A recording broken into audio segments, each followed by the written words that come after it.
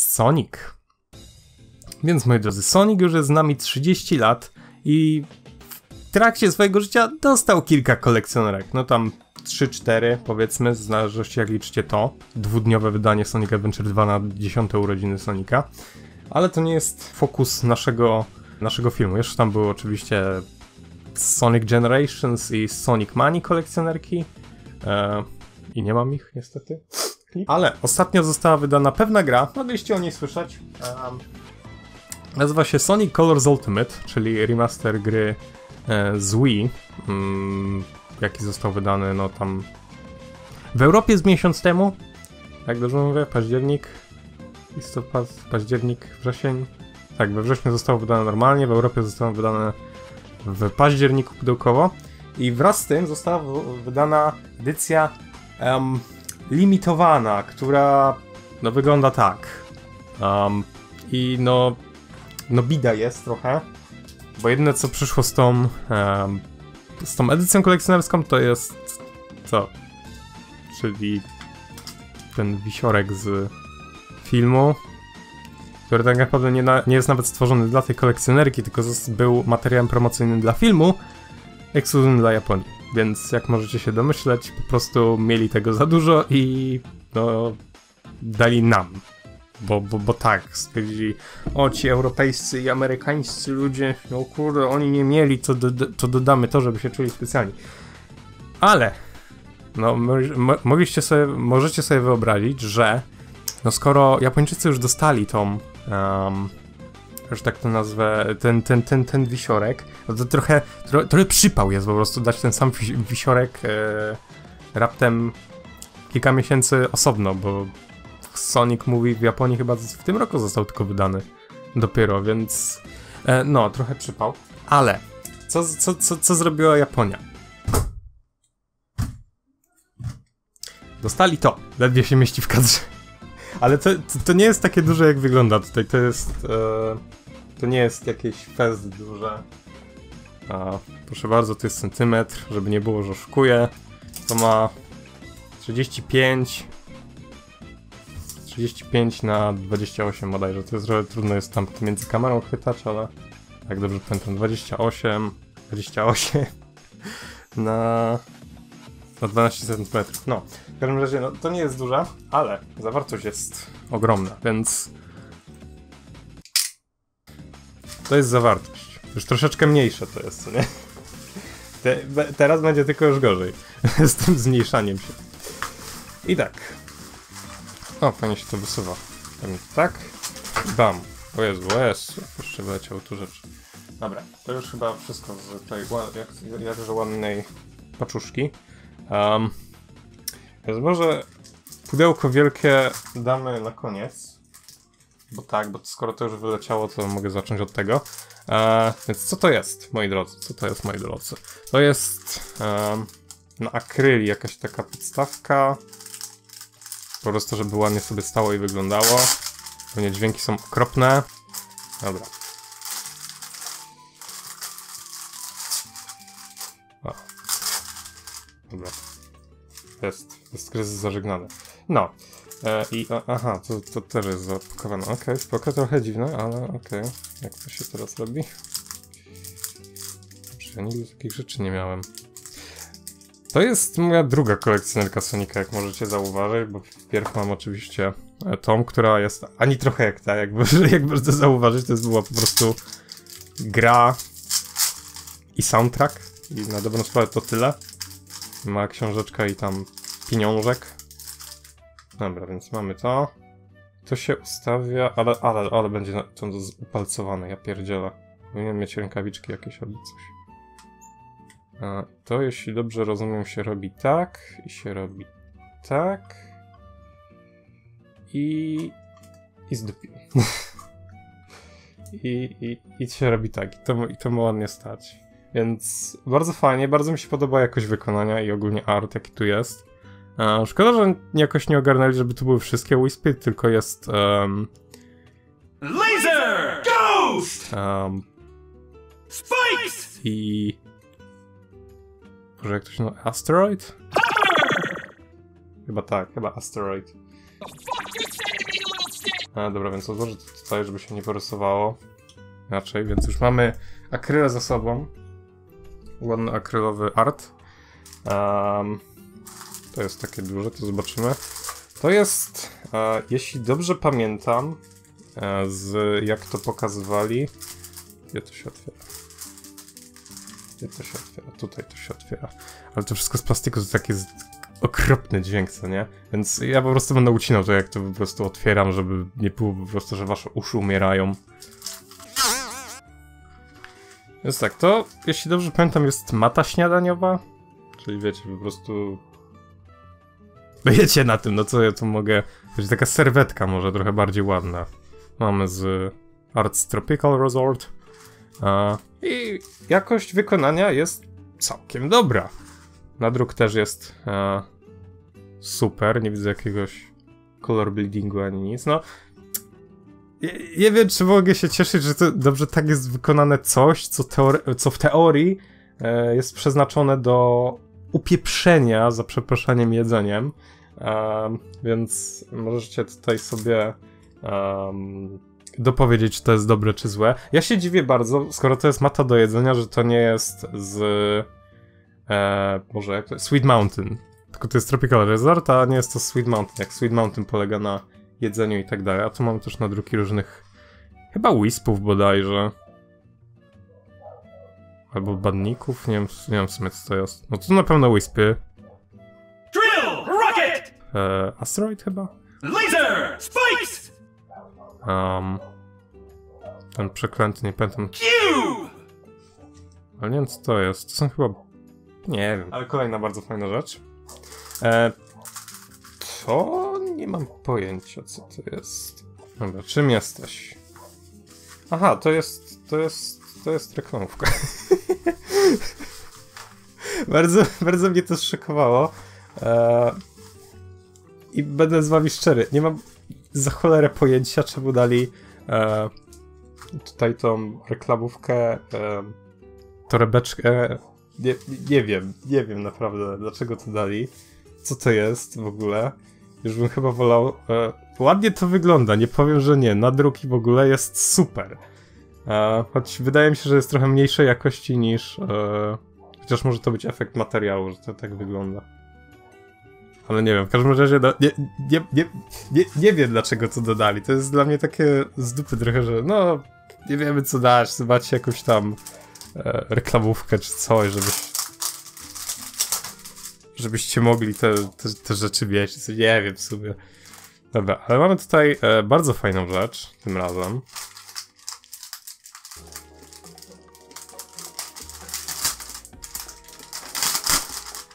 Plastiku, który nie drze ryja, jak się go otwiera. Wyjątkowo. Tu mamy. em, nie wiem jak to nazwać. Taki fajny. Torebeczkę. Mam tutaj taki, taki, taki met, takiego metalowego Sonika, napis Sonic Colors Ultimate. Dziwne, że nie, to nie jest logo gry, tylko to jest po prostu taki napis. I mam tu taką fajną wyściółkę. Więc jak ktoś bardzo potrzebuje jakiejś nie wiem, torebeczki, czy portmonetki, czy nie wiem jak to na- nazwać lepiej, a, no to proszę bardzo, jest tu e, w tym zestawie w Sonic Colors. To, zapomniałem jeszcze nazwać, e, powiedzieć, sprostować, o może tak. E, są dwa rodzaje tej em, tych, tych, tych, ty- tej kolekcjonerki w Japonii. Jest wersja po prostu Anniversary, gdzie się dostaje tylko e, to duże pudło e, i Anniversary Deluxe Edition, czyli z tymi duperelami, które teraz widzicie, to się dostaje, więc możecie ocenić, co jest bardziej warte.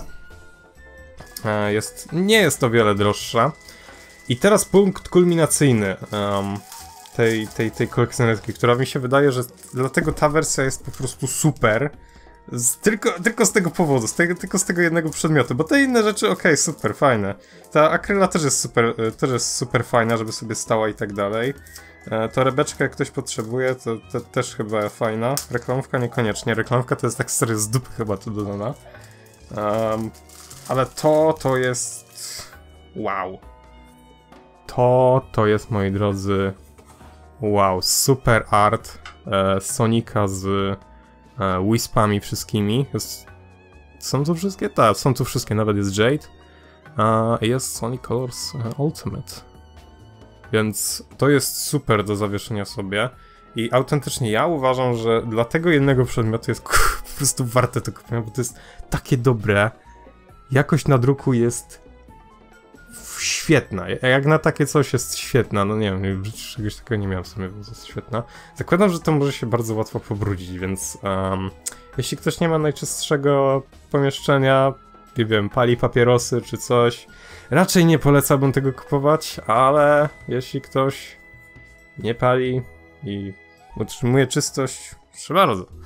Znaczy, w sumie, w sumie to nie wiem, czy można by to wyprać. W sumie nie wiem. Na dobrą sprawę. No ale dobra, no. Uporaliśmy się z tym wszystkim. A, śmieci dajemy na bok. A, oczywiście później wyrzucimy, żeby nie było.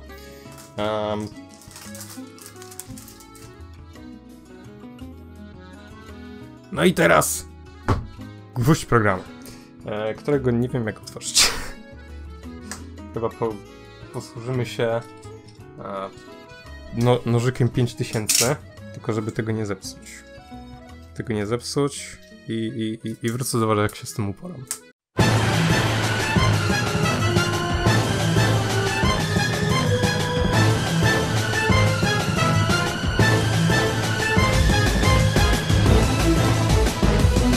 Więc tak, w ogóle nie pokazałem wam tyłu, więc to jest tył bardzo fajny e, nadruk, Modern i Classic Sonika. Ciekawe jest dla mnie to, że nie ma tu ani Boom Sonika, którego czasem jeszcze dorzucają do materiałów promocyjnych. A, I nie ma tu też żadnego artu z ery Adventure, że nie ma tu 2D e, artu Sonika, tylko jest pixelowy Sonic i 2D art Classic Sonika, a Modern Sonic ma tylko rendery. Ale okej, okay, nie będę tutaj tego oceniał, więc mamy tutaj wszystko, mamy tu sam ten bardzo ładny render Sonika, ja naprawdę bardzo lubię, to jest chyba mój ulubiony render. E, ostatnio, osta, ostatni z... Mój jeden z ulubionych e, renderów ostatnio Modern Sonika, po prostu jest taki żywy tutaj, że z tym wybieganiem w ogóle jest uśmieszek, jest w ogóle, jest autentyczny ruch jakiś, a nie, że stoi w miejscu jak, nie jak coś, co Sonic powinien reprezentować. Uh, Unstoppable for Generations, uh, haha, nawiązanie do Sonic Generations, tylko że nie. E, I to jest jeszcze z czymś takim tutaj. E, jak możecie zauważyć, jest to wersja na Nintendo Switch. E, czemu kupiłem wersję na Nintendo Switch? Bo są dwa powody. Pierwszy dlatego, że jak mogliście zauważyć, mam już wersję na PS4, więc nie potrzebna mi druga wersja na PS4. I druga rzecz, taka, że to jest jedyna inna wersja tej fizyczna w Japonii, bo jeśli dla tych, co nie wiedzą, um, wersja na Xboxa została tylko cyfrowo wydana, bo się nie opłaca po prostu w Japonii cokolwiek na Xboxa wydać pudełkowo. E, więc chyba od. Boże, nie, nie, nie pamiętam, chyba od Sonic. Forces? Sonic Forces już chyba nie miało fizycznej e, Xboxowej wersji. E, Sonic Mania też wątpię, żeby miała. E, więc więc, więc, więc no. E, ale bez zbędnego przedłużania. Jezu, już to się łamie. Jezu, jak ja, jak ja strasznie nie lubię takich takich, takich pudełek. Jakby trochę więcej luzu zrobili, żeby dało się to jakoś, wiecie, wyjąć bez łamania tego kartonu, ale o, dobra, bez, bez jakichś większych szkód się udało. Um, wykaraskać sytuację i teraz to wyjmij, człowieku. Te, teraz, teraz to będzie. Oła. Powolało. A, więc tu już sam karton. Bardzo, bardzo ładny, ale ja, ja nie wyrzucam kartonów z Sonika, bo one po prostu super wyglądają, więc dlatego mam jeszcze e, pudełeczko z Colors Ultimate, bo nie wiem, podoba mi się po prostu to duże wydanie. Nie wkładam tam gry, bo to jest autentycznie mi się e, nie chcę wyciągać za każdym razem gry, jak chcę sobie w nią zagrać, e, ale, e, ale, ale sobie trzymam ją osobno po prostu. I teraz otwieramy. Uhu. Powiedziałem uhu. Powiedziałem uhu. Powiedziałem, więc mamy tutaj grę. Ciekawostka, to jest moja pierwsza gra na Nintendo Switch. Nie mam jeszcze Nintendo Switch. Więc, więc no, fajnie, że mam grę, wersja japońska. Eee, Switch bodajże jest pierwszą konsolą Nintendo, która jest region free, więc jeśli ktoś sobie to kupi, to um, powinien zagrać sobie normalnie, poza tym, że no, gra jest po japońsku, pudełko jest po japońsku, co wszystko powinno być ok, e, bo wybór języka powinien być dalej po angielsku i tak dalej. A, więc o to się proszę nie przejmować. Mm, dalej mamy Life in Sonic's World, które jeśli dobrze przypomina... O Jezu, ale to jest fajny art. Mam tutaj Silvera, e, Cheeza, Blaze, Cream, Sonika Amy, Tailsa Knucklesa. E, dziwne, że są przedstawieni na arcie na pudełku, które jest dołączone do Sonic Colors Ultimate, które było sławne, że tak naprawdę pozbyło się już wszystkich postaci Sonika poza Tailsem. Znaczy, już technicznie to już Sonic Unleashed zrobiło, ale no dobra, nie będę się kłócił. Żeby mnie skancelowali, że ło, jak, jak, jak masz śmiesz prawo krytykować Sonic Unleashed, ty głupi głupku, ty śmieciu. I to jest, tak, to jest CD. E, to jest chyba jedno, co nie? Chyba tak. E, więc mamy tutaj um, soundtrack z to nie jest chyba Sonic Color co nie? Tak, to jest z całej historii Sonica, więc mamy tutaj od, mamy Sonic Colors, mamy Sonic Adventure 2, Lost World SA2, Sonic Unleashed, a propos, Sonic World Adventure jest tu, eee, Sonic Adventure Special Remix, aha, to jest z albumu eee, Sonic Adventure Music Experience, więc, więc no. Um, co my tu jeszcze mamy? Sonic Generations, okej. Okay. I to muzyka z cutscenki? Okej, okay, trochę dziwna. Sonic Adventure 2, Sonic Riders. Zero Gravity, okej, okay, super. Um, znowu cutscenka z Sonic Colors Rise of the Wisps. To jest fajne. Z, z, z shorta. Uh, Sonic Adventure 2. Uh, e, Sonic and the Black Knight. I jedna z, e, z fajnych, znaczy z, Sonic and the Black Knight miał same dobre traczki, więc to jest e, głupio mówić, e, więc, więc no, fajnie, że w ogóle coś tu z Black Knight się pojawiło. Lost World, Lost World, Generations, Unleashed, Sonic Boom. Mówiłem, że czasem jeszcze dodają Sonic Boom. Um, tylko ciekaw jestem, czy to jest z Rise of Lyric, czy z muzyki z show, więc zobaczymy to później. Sonic Generations znowu z cutscenki i Sonic 3D Blast? Dziwi mnie, dziwny jest ten dobór muzyk. Jest tu naprawdę sporo fajnych tracków, e, ale mamy tutaj... Sonic Generations ma tu chyba tylko rzeczy z cutscenki, z cutscenek, co jest bardzo dziwne. Strasznie dużo jest Sonic Lost World z jakiegoś powodu. Um, no i mamy tak z dupy Sonic 3D Blast, tak znikąd, więc... Um, dziwi mnie, że nie ma. Jedno co tam jest Sonic Adventure 1, to jest właśnie ten remix ze Station Square. Um, jeszcze jest. No i nic, nic tu więcej nie ma. Nie ma tu nic Sonic Heroes, nie ma tu nic Shadowa, nie ma tu nic z. Nie wiem. Z czego też? Sonic Forces nic nie ma. Właśnie, to, to, mnie, to mnie naprawdę bardzo dziwi. Nie ma tu nic, nic a nic z Sonic Forces. Jest Sonic Boom, nie ma tu nic z Sonic Forces. Um, więc okej, okay, spoko. Nie mam jakby... jakby nie, nie, nie wiem. E, I pewnie się zastanawiacie, no pewnie to już wszystko, czy coś. Otóż nie. To nie jest wszystko. Mamy tu jeszcze drugie dno. Zawsze, zawsze doszukujcie się drugiego dna. E, Okej, okay, to jest trochę dziwne. I mamy tutaj pieniążek.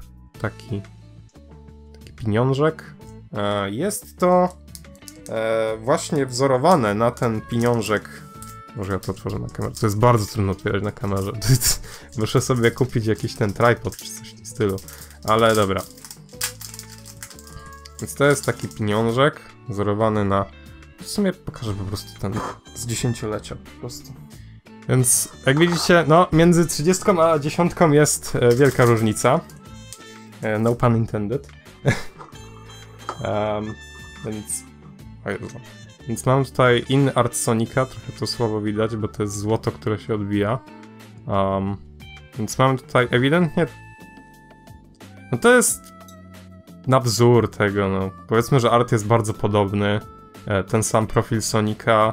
Trochę jest inny, bo oczywiście styl trochę się zmienił. między Sonic Adventure 2 a Sonic Colors Ultimate. E, jak rysują Sonika i tak dalej, widać, że na przykład ma troszeczkę mniejsze oczy. Um, tył mamy z prezentacją 30-lecia, tu jest 30-lecie oczywiście, tu jest e, 10-lecie. Trochę ten na 10-lecie ma więcej detali. Dziwnie, że to jest takie wielkie, po prostu nie, nie, nie wiem jak to wystawić w ogóle, bo to, bo w dziesięciolecie to było w tej takiej ładnej książeczce, więc jak się chciało to, wiecie, pokazać, poza tym, że ta karteczka, ta książeczka cały czas wypada jak porąbana, e, to po prostu się dawało to tutaj i, i, i, i można sobie było tak postawić i to ładnie wyglądało. Jak, jak tylko książeczka jak nie wypadała, to ładnie wyglądało. A, a tutaj no, nie, nie mam takiego luksusu, no bo to jest po prostu tak przyszło, o, nie wiem, może sobie leżeć, albo nie wiem, do świnki skarbonki to wrzucę, czy coś, więc, więc, więc no, niech se, niech se tu leży. O. Teraz gwóźdź programu, jakim jest to. W ogóle co to jest? A, to jest chyba opis wszystkich elementów, jakie tu są e, w tej kolekcjonerce i jakiś papier chyba po prostu chroniący przed porysowaniem. E, więc co to jest, moi drodzy? Co to jest, moi drodzy? Pewnie się zastanawiacie. To jest książka. Tak, wreszcie będę coś czytał. Więc tu już nic nie ma. Po prostu wywalimy to. Oczywiście nie wywalimy, tylko włożę z powrotem to e, tam, gdzie powinno. E, więc tu... To jest ten sam art, który jest na płycie. Um, tylko oczywiście troszeczkę większy. E, o, ociu, ociupinkę, no tak minimalnie większy. Mm, ale powinien się zastanawiać, co to jest ta książka. No, takie, o jest. Powinien się zastanawiać, o co chodzi z tą książką. Po cholerę książka. Czy to opisuje całą fabułę bardzo skomplikowaną Sonic Colors Ultimate? Czy, czy, czy, czy, czy, czy Sonika? E, otóż e, nie, to jest akurat bardzo ładna książka. E, Light in Sonic's World. Volume 1, czyli możemy się spodziewać więcej tych volumów. Fajnie by było jakby e, z następną grą Sonika był Volume 2.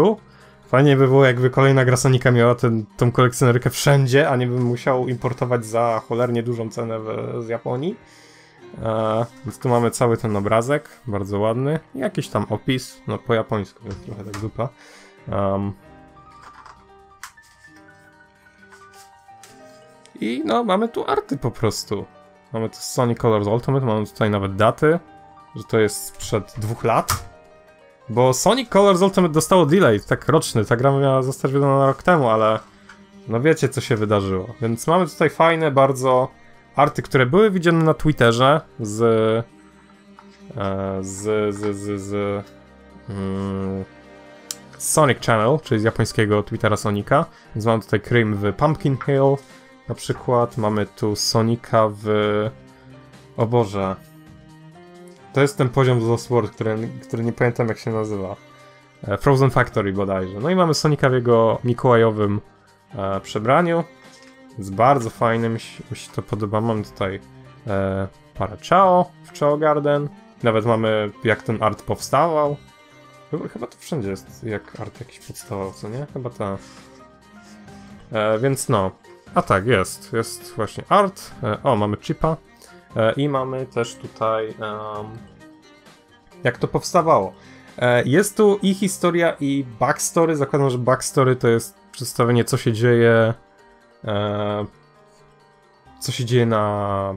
Ba nie, backstory to chyba pewnie będzie jak wpadli na pomysł, żeby coś takiego zrobić, a story to jest pewnie mała historia, jaka jest związana z tymże rysunkiem, bo zawsze to robili z Sonic Channel, że dodawali takie małe historyjki. E, niestety jest to wszystko po japońsku, co mnie troszeczkę e, troszeczkę boli, nie powiem, że nie, bo tu będę porównywał cały czas z tym e, z tą na dziesięciolecie Sonika, bo nie mam oczywiście na Sonic Generations, więc nie mogę tego porównać. E, jak zostało wydane to na, na dwa dni Sonic Adventure 2, e, to mieliśmy właśnie taką książeczkę małą dodaną, która cały czas wypada. E, I fajne jest to, że tu jest też e, po angielsku wszystko, więc nawet jak ktoś był w Japonii e, w tamtym czasie, to mógł sobie po prostu wziąć to, poczytać, jakby chciał się czegoś fajnego dowiedzieć i mógł to zrobić, bo było też po angielsku, więc mógł to zrozumieć, a nie tylko po japońsku. Zakładam, że no, no wiecie, no nie wiem, jakiś turysta na przykład mógłby być w Japonii, co nie, i sobie to kupić. Bo akurat Sonic Adventure 2 zostało wydane, no i... albo zimportować. I... Proszę bardzo, mamy tutaj po angielsku, więc każdy to zrozumie. Tu mamy bardzo fajną książkę, ona jest bardzo fajna, ma bardzo fajne tutaj arty, e, ale no, no, no niestety no niestety jak się nie zna japońskiego, to niestety się nie, nie pozna tej historii, no chyba, że się pójdzie na jakiś konto na Twitterze, które tłumaczy te rzeczy. Um, więc no bardzo wszystko super duper i w ogóle, ale no niestety um, to, jest, to jest minus. No nie, powie, nie powiem, że to jest minus, bo nigdy tak naprawdę to nie było e, założone, że będzie to wydane na rynek amerykański, europejski, więc nie musieli dawać po angielsku tego, bo angielski w ogóle w Japonii jest na strasznie niskim poziomie, więc no po cholerę mają to dodawać. E, ale no troszeczkę taki jednak downgrade, biorąc pod uwagę, że 20 lat temu dali ten angielski z jakiegoś powodu, a teraz nie dali tego e, angielskiego z jakiegoś powodu. Więc no, no tak pół na pół bym powiedział z tym, więc, więc no, no jeszcze odpakuję tu grę, żeby nie było, że o miał być unboxing, a jedno czego nie unboxował tą grę. E, więc, więc, więc, więc, więc się tym zajmę zaraz. Mój telefon zaraz padnie, więc trzeba się streszczać, chociaż, chociaż już, już długo trzyma, kurde. No dobra, mamy tu grę. E, wersja Switchowa jest najbardziej zbagowaną wersją, ale mam takie szczęście, że no mam wersję PS4, więc mnie to tam nie interesuje, że jakaś tam wersja na jakąś przenośną konsolę jest zbagowana. Że nie świecie pogram ją zanim się będzie w cholerę bagowała, więc no to jest Sonic Colors na Switcha. O, proszę bardzo. Mamy tutaj cartridge. Nielizany. Chociaż, tro, chociaż trochę mnie, trochę mnie kusi. I mamy instrukcję! Wow, mamy instrukcję do gry w 2021 roku. Ma dwie strony, ale, ale to jest więcej niż to jest więcej niż zero. Szkoda tylko, że aha, że tutaj jest ten uchwyt, ale dziwne. Na cholerę jest to. Eee, kusi trochę, żeby mnie żeby polizać, żeby mieć ten pierwsze, pierwsze wrażenie, ale, ale nie, nie będę. Nie, nie, nie jestem aż taki um, nie jestem aż tak ciekawy, żeby coś takiego zrobić. E, więc no, to jest właśnie Sonic Colors e, Ultimate Anniversary Pack Deluxe Edition HD Remix.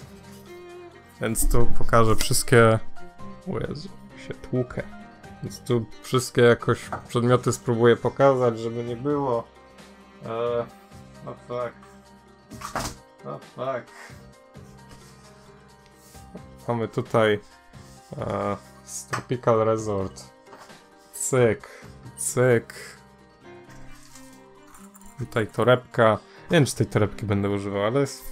To nie, no fajna jest. No dużo lepsza niż, niż to, niż kurde reklamówka po prostu.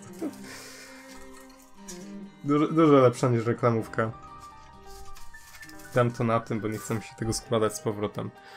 E, no i to mamy, więc no, mamy grę, mamy monetę, mamy podstawkę pod jedzenie, ma matę śniadaniową, mamy reklamówkę, mamy CD z muzyką, e, mamy torebeczkę i mamy bardzo fajny, e, nazwijmy to plakat, bo nie pamiętam jak to się nazywa. No i mamy akrylowy e, Wisp Collector z Retringiem i z Eggmanem. E, więc dziękuję wam za oglądanie. To było na tyle. Jeszcze mała informacja. Otóż dlaczego tak nagle zniknąłem, chociaż miałem plany na streamy. E, było to spowodowane tym, że się rozchorowałem bardzo. I tak, był to COVID, ale jestem w pełni sił. Um, jedyne co miałem i chyba nadal troszeczkę mam, nie wiem czy to dobrze słyszę, słychać, e, lekką chrypę, ale jak widzicie żyję jeszcze. I, I no, i zobaczyłem to i mamy to tutaj. E, zapraszam też na blueblur.pl, gdzie prawdopodobnie zrobię trochę większą recenzję tego całego pa paku. Na razie to macie po prostu rozpakowanie. Ja jestem, powiedziałbym, że pół na pół zadowolony. E, jedne rzeczy są lepsze, jedne są gorsze, e, więc mówię, to za, w zależności kto, kto co lubi. No ja zdecydowanie najbardziej się cieszę z artbooka, e, z CDK, z tej monetki, bo monetka też jest super. E, no, no i z tego plakatu, ten plakacik to jest kurde mega. Um, no mówię, no ta torebka jest fajna, chociaż nie wiem po co ona jest i no ta reklamówka, która już kompletnie nie mam zielonego pojęcia po cholerę ona jest. Ale dobra. Więc, wie, wie, więc no, więc, więc, więc tyle, więc dziękuję wam za oglądanie, mam nadzieję, że wam się spodobało. E, zobaczcie na moje social media, zasubskrybujcie po więcej filmów, e, wracamy z filmami, nie no, nie wracamy z filmami, ale postaram się coś robić. Come on, no, uwierzcie mi, błagam. Naprawdę próbuję. E, no i cóż, dziękuję wam za oglądanie, mam nadzieję, że wam się spodobało. Na razie i cześć! Pa!